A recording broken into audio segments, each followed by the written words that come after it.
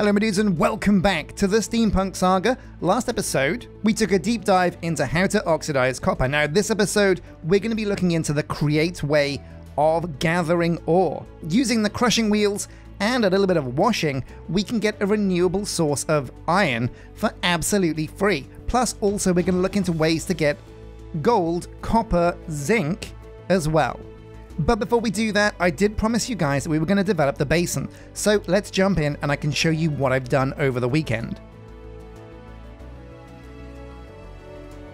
Now, all of this took an insane amount of time, and I did say I was going to develop and terraform the entire basin, but just developing the cave entrance over here on its own took almost the entire weekend.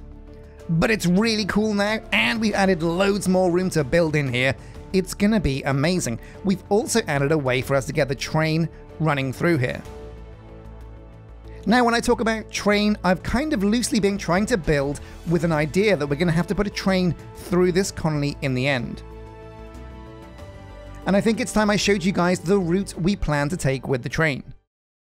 So this path is going to become a railway track, maybe a railway station, and the train is going to come along here over this bridge above the chasm it's going to tunnel underneath the mountain and then come out and come across this side of the basin. Then it's going to swoop all the way around the basin in a big old loop before sliding on past our mine over here, and then it's going to cycle past these residences as well. It's going to come down around in front of the town hall, and then it's going to loop back to its original position.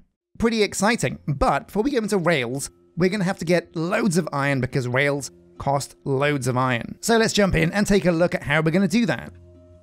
So we have a pretty amazing Create powered cobble gen. The way to get iron in Create is you take the cobblestone, you use it with the crushing wheel. That turns it into gravel. Okay, great. Then you use the gravel in a washing setup. A fan behind some water. This washes the gravel, and there's about a 12% chance you'll get one iron nugget. That's very slow, but if we're crushing loads and loads of cobblestone into gravel and washing it in the background, it's going to net us over time a huge amount of iron.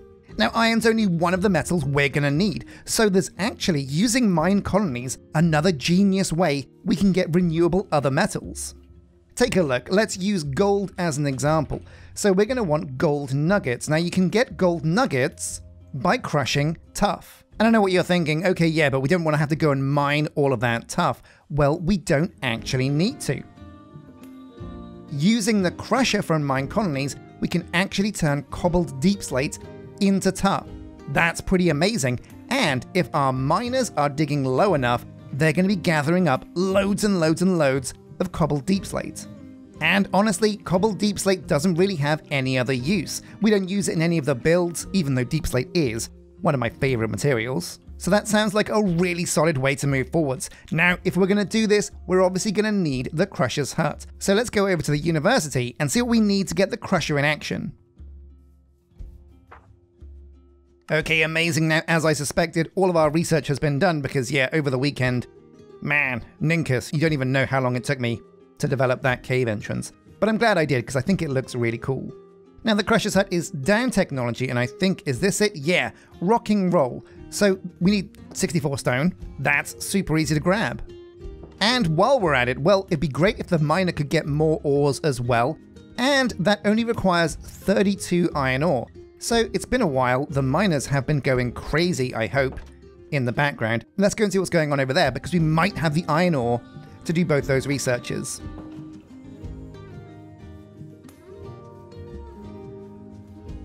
Oh, now hang on a sec. Looks like Ambriel has some problems. Red cogwheel means this miner isn't working. What's her problem? Can we fix it?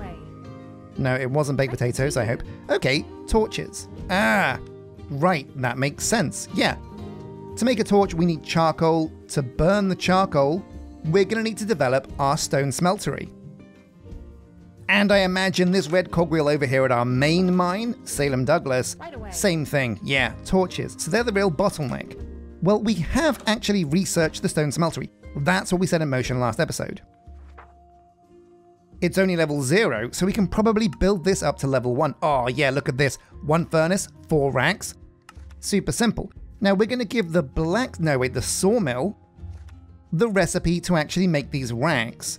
So it should be a crafting recipe. We'll go for rack. There's quite a few of these, but the one from Mine is pretty simple.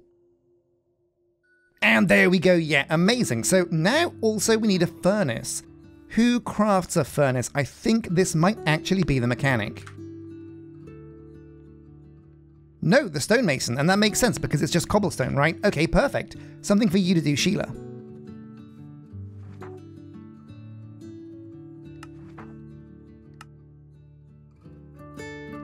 Pretty basic furnace. No, we don't want to use infested cobblestone. That's not a good idea. So we'll find regular cobble and just drag this over. Man, it'd be much easier if I had some in my backpack.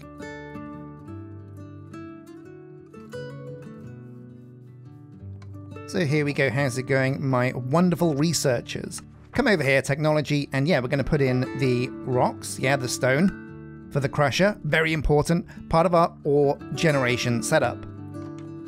So maybe there's a civilian one we can do in the background, because yeah, it's bad to neglect these. And in fact, oh, this is quite an important one. If we can grab three books, we can do higher learning and grab a school. Sounds pretty good.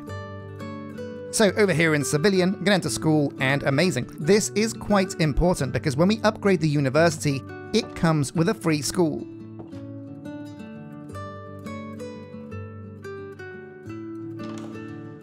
In fact, I think it's that block over there just floating in the sky. There should be one over this side as well for like the library, but I don't see it. Ah well, maybe it's somewhere else. Now, why stop there with the stone smeltery? I have a feeling that getting us to level 2 is only going to cost like a few. Yeah, oh my god, yeah, one furnace. Get this to level 2. Now, of course, we do still have a problem. We don't have enough dudes. It can be tempting to bring a knight over and employ them in a different building, but when you do that, you remove the house that the knight was in. And what you end up with is a homeless colonist, which is a really bad place to be. What I will say though is four couriers is very generous for our colony. So I think maybe we can borrow one of these dudes, and I reckon Dorcas Stormweaver, yeah, get on over here, you're gonna be our stone smelter. Oh my god, whoa, look at that burgundy. I love that. Is that, are those mahogany robes? Wow, that face though. Very serious, angry face. And those eyebrows, wow, what a monobrow. So we want to give this guy a recipe to smelt charcoal. He's gonna need oak logs to do that. There we go, and that creates charcoal. Amazing. But he does actually need a fuel to actually start the charcoal process. So we're going to make his fuel charcoal. Why not? Boom. Now to do that, we are going to need to kickstart the process and give these guys a bit of charcoal to begin with. But with that in motion, we'll get the charcoal now, which uh, I guess the miners can actually use themselves to make their own torches. Here we go, 32 and 32. Smelt this up into a nice dollop of charcoal. Lovely stuff. Let's go and get this into the warehouse, get our colonists working again. And it really is cool to fix these problems. Minecolonies always gives you something to do to micromanage things around your colony. It's really cool. Now, where's my clipboard? This looks like it doesn't have that many requests. Yeah, looks like most of the guards' armor requests have been fulfilled. The only one that hasn't is the guard tower that can't actually use chainmail. That's Rory Bear, and I think he's in the mine, and the mine guard tower is only level 1. Now, check this out. I put another guard tower up here on top of our entrance to the massive chasm. The reason I did this is because we need loads more space. We're going to need loads more of these guard towers all around. And in fact, as colony sizes go, we've got way less guards than we should have at this point.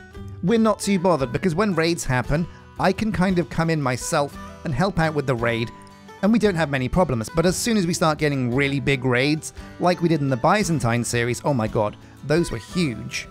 We're really going to need a massive army of guards.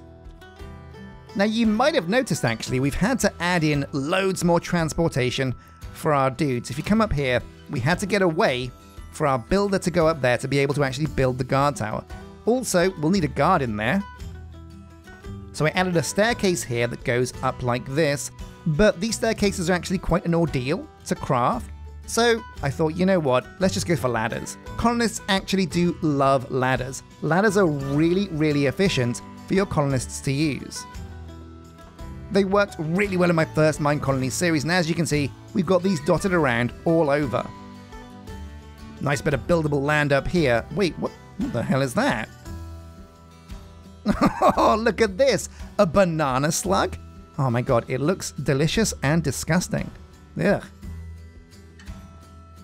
So, anyway, what was this episode about? Well, it was about generating ore using Create, a renewable way for us to get iron on the colony. We can't rely on the mines 24 7, and Create has a great way to do it. Now, this area over here by the airport is actually made to measure. I calculated how big this size was, and I used the area we had to design a schematic and a blueprint for our new building. Now, this is pretty exciting because basically, yeah, if you look at our airport, the schematics cannon does not like Minecolonies shingles.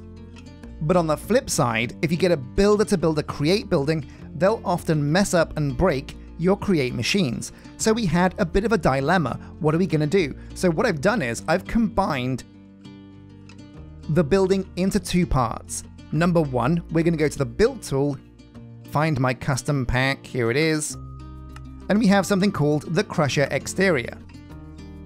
Very cool, it's a very big building. This is going to need its own power source as well, so we've included a giant windmill. Very cool.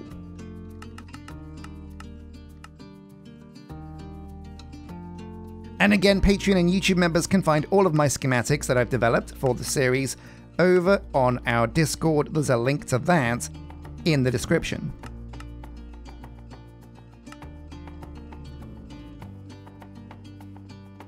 So here we go, this is within our boundaries, I believe. Yeah, looking pretty good.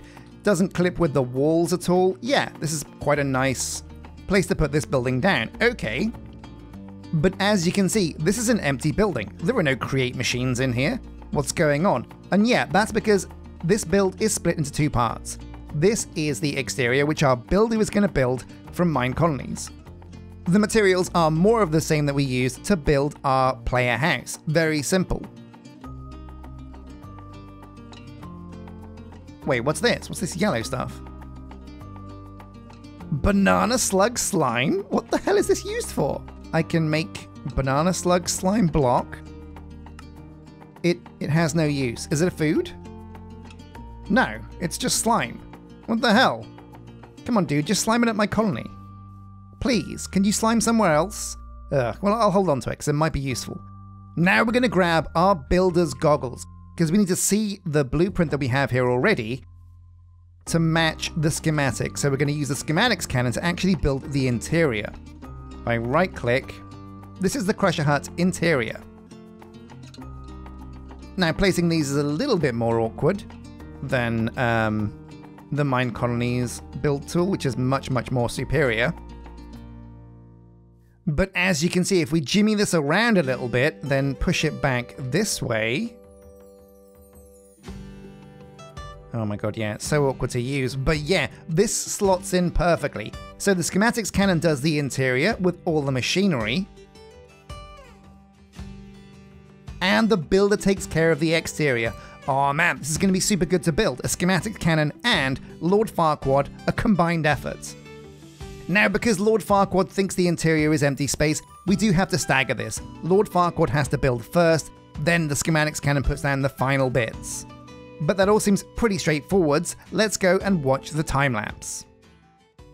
So here we go. This is a bit of an experiment because this is the first time I've ever split a build like this between the builder and the schematics cannon. And I left the schematic in place from Create so you guys can see the actual building getting built around it and have an idea of how this whole thing works.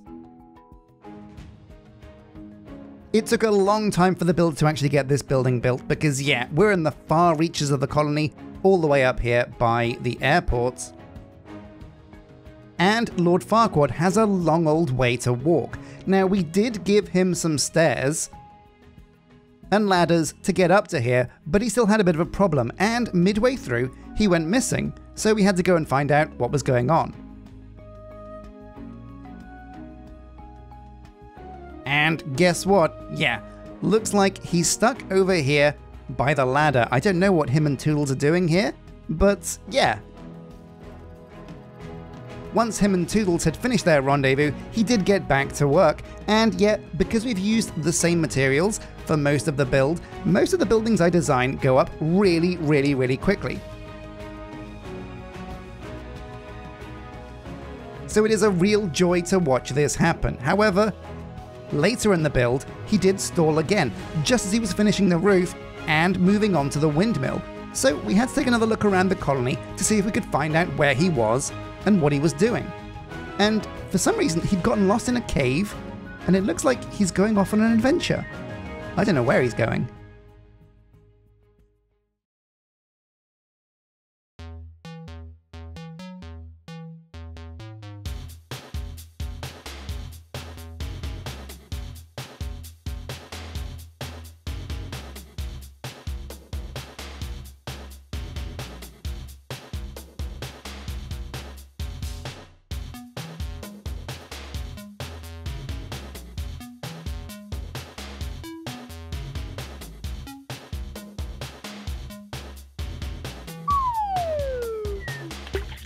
He did eventually find his way home and got this windmill finally built. It's very big, we're going to have to add our own sails and the windmill mechanism, but the whole building's done.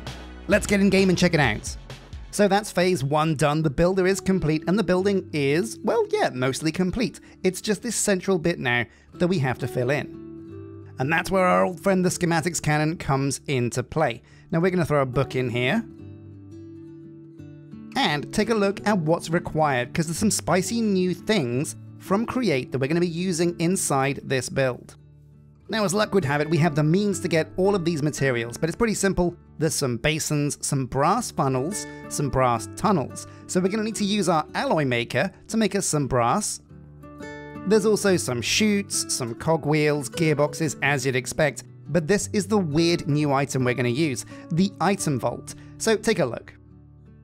The item vault is basically like a giant jumbo chest. With the difference that you can't manually open it up and take things out or put things in, but you can attach these amazing andesite funnels and even brass funnels to pull what you want in and out of them, so they're a great kind of central storage for things you want to automate. The brass tunnel is also pretty important. It lets you filter items that are going through a conveyor belt. It's great for splitting things off and putting them where you want them. And last but not least, the brass funnel. So the brass versions of the andesite things are the same, but they can put more stuff out and you can add filters that let you control what is coming in and going out of these things. Okay, pretty cool. And like I said, we've got the means to make all of this pretty simply. The item vault isn't too hard to make. The recipe is just iron sheets and a chest. Very, very simple. So I'm going to get crafting these up.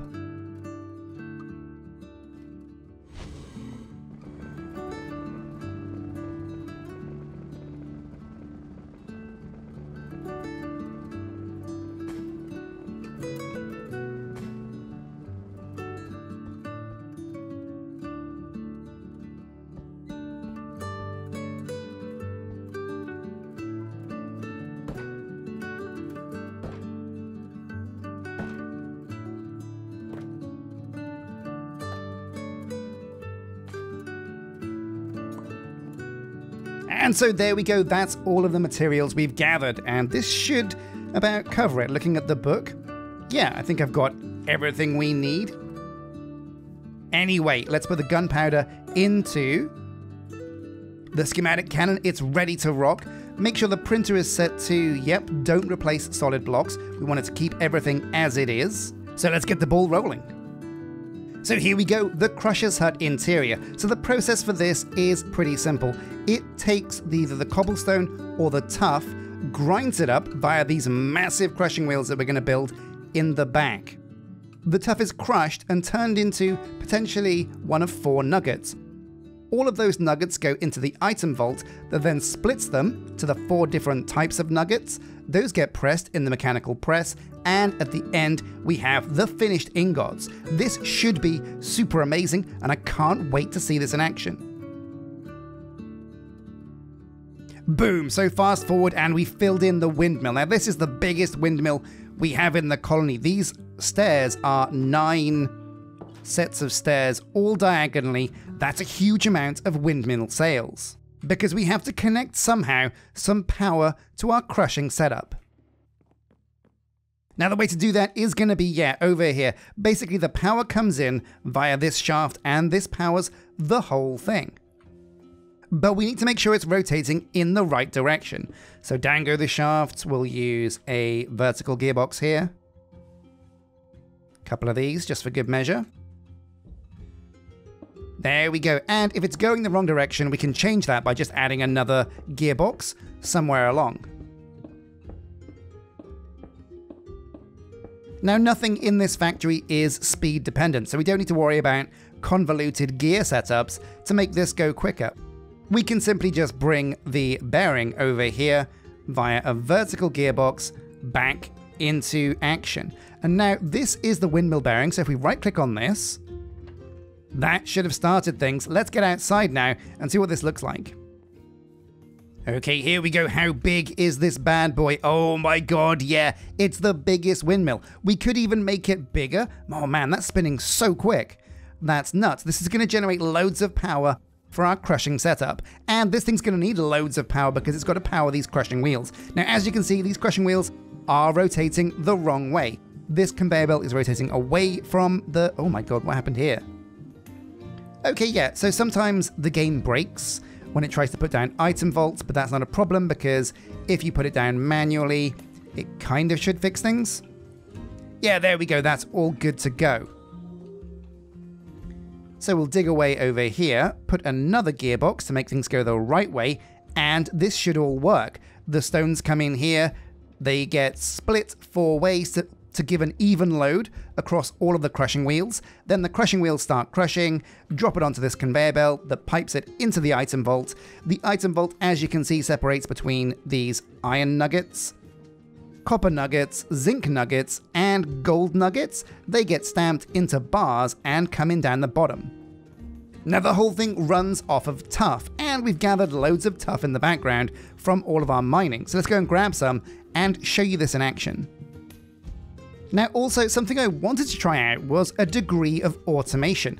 Imagine if you can pipe out of a post box into a conveyor belt. That way we can get the mine colonists to automatically deliver all the tuff we need after it's been through the crusher.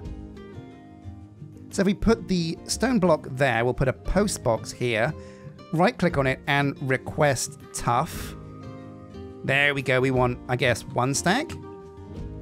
Or is that just one? No, we'll go for 64. There we go. Now we add an andesite funnel, and does this connect? Oh my god, yes it does. Look at that. That is connected to the post box. So I think, in theory, if we go and add tuff to the warehouse now, it'll get delivered. Although I saw the door open, maybe someone's coming up here with some tuff. Let's wait and see. Oh yeah, someone's coming up the ladder. This has to be the courier because who else would want to come up here? And it's Jacob Akizuki, the man, the legend. He is carrying our tuff. Here we go. Automation. So Jacob's going to put the tuff into the postbox. It's in the postbox and it's coming out the andesite funnel. Oh my god, it all works. This is perfect.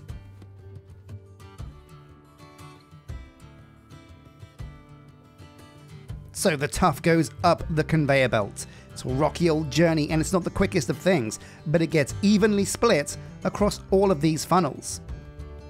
Well, kind of evenly. The most important thing is that one crushing wheel isn't overstretched. Wait, now what's going on here? The tuff isn't going into the funnels. That's strange, why is that? Well, maybe we need to place down the item vaults again. That could work. Wait, one of them went through the crusher. Oh no, it's crushing. Oh no, it's crushing the item vault. So it looks like the item vault is lost to the ages. They're very cheap to make though, And we probably had a surplus. Yeah, just the one. That's lucky. But it goes to show the schematics cannon's amazing, but it doesn't always put things down correctly, and sometimes you have to fix machines. So we're going to right click here. Yeah, and it looks like placing these down again has fixed the system. So the crusher is now, oh yeah, look at this. It's crushing these things up a dream. So we're getting loads of nuggets here. I can see already copper, iron, and gold. Amazing. Those nuggets are then filtered out of the item vault and onto these conveyors. Looks like the middle item vault works because we replaced that as well. And once these basins get 9 nuggets in total, they should begin to press the metal. But this is going to be a very slow process because, yeah, it's basically something that we want running over time. And every now and again, we'll come back here and collect ourselves some free metal. And here we go, the ninth gold nugget. Down comes the press, Slam.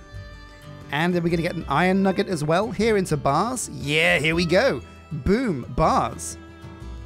Fantastic. And these feed all the way over to these chests where we can come and pick up the iron and gold and copper and zinc. That's super amazing. Wow, the system works. This is amazing.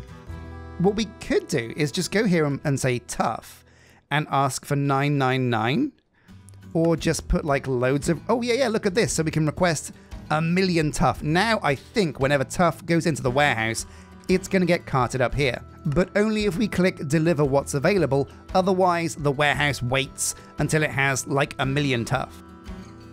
Boom, okay, that's super amazing, but what we wanted this episode is to get an infinite source of iron. This is tuff into many ingots, but if we can get cobblestone into the crusher, it'll turn into gravel, and then if we wash the gravel, the gravel will become iron nuggets. And that's why we have this empty space over here. So what I'm going to do is I'm going to extend out this building a bit and we're going to add a bit of a washing setup. So here we go, it's pretty simple, but we've given this building a bit of an offshoot now. It's got like a nice peaked roof, and yeah, we can just basically carve up this area. Oof, now gotta be careful because it is trying to tree fell the building. Always dangerous digging logs. And we'll do a bit of ulti mining here, just to make sure I'm not actually digging up the entire building. No, there we go, pretty good. And there we go, a nice open space now that we can work with. So we want to bring off a conveyor from this main item vault that's going to bring both the flint to trash and also, once we put cobblestone through the system, this is going to filter off gravel as well. I've got the water bucket and the encased fan, but I'm going to rely on andesite funnel. They will need a brass funnel, I think.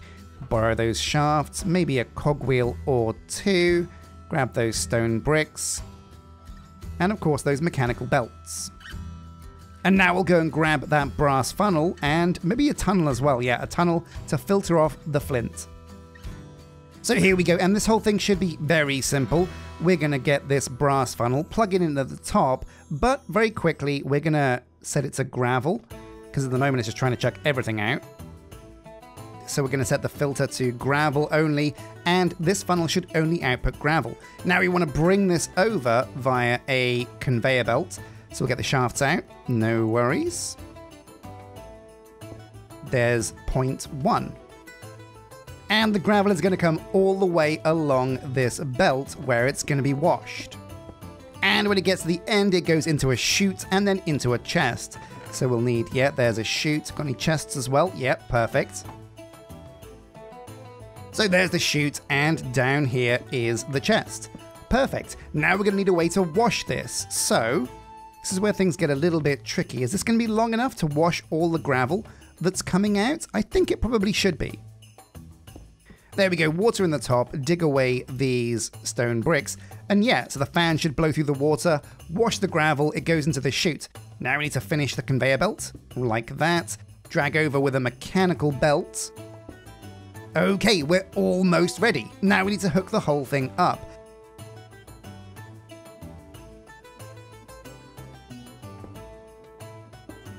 Now is this going to spin the right way?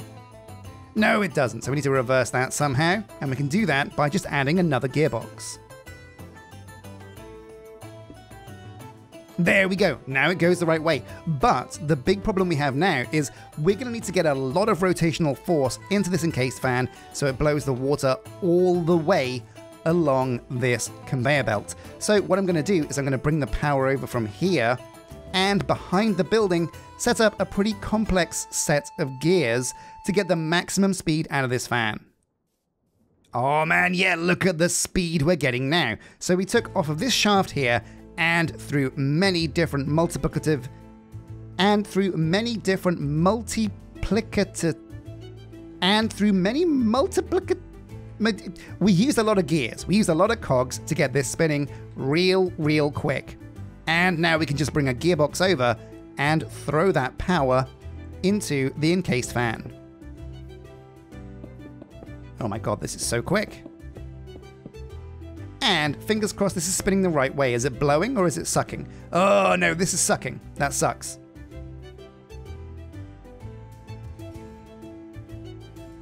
Not a problem though, because a gearbox here will fix all of our woes. And boom, so there we go. Everything is hooked up now. And oh my god, yeah, look at this. These water bubbles are being blown all the way back here into the funnel. This, combined with the fact that the conveyor belt is a very slow speed, should get everything washed and into the funnel in time. But there's only one way to test this out. Let's deposit loads and loads of gravel. Now what we can do is we can also request gravel over here. We're going to ask for, let's say, a thousand gravel. Boom, and deliver what's available.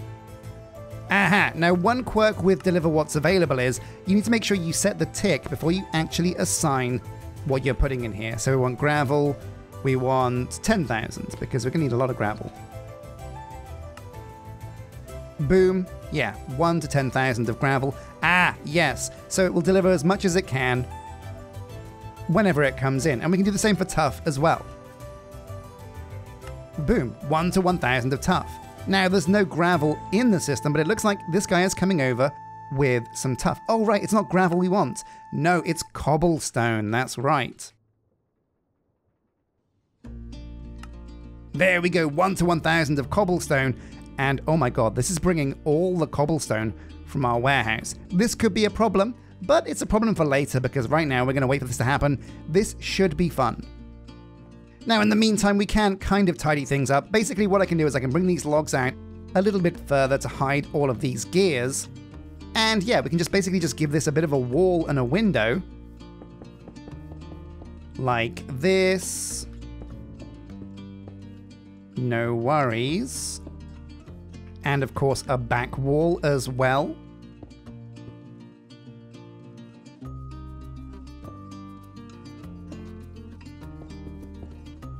Oh, hello Toodles. Looks like he wanted to come along to take a look and see what we're doing.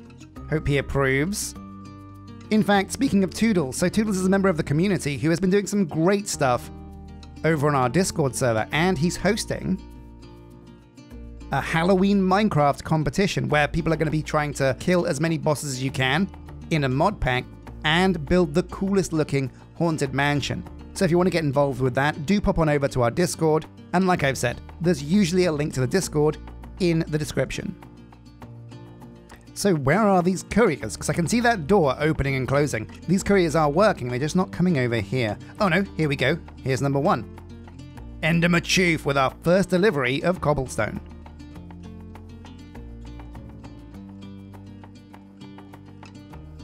Oh my god, wait, he teleported. Wow. I guess he is Endermachoof. And in it goes and out comes the cobblestone. Now to speed things up, we can also change this andesite funnel for a brass funnel. That's going to be much more efficient. Because a brass funnel can output more than one item at a time. There we go. Oh my god, yeah, look at those stacks coming out. Perfect. So the cobblestone is being turned into gravel. The gravel is coming out along this conveyor belt. The washer is washing it, and it looks like we're getting flint and, if we're lucky on occasion, a little bit of iron nuggets. Now, the conversion rate for washing gravel into iron nuggets is not great. So it's mostly going to be flint. I think it's like 1 in 10. Oh, yeah, here we go. We're getting our first iron nuggets. There's number one, if you can see through all of this uh, crazy water flying across the belt.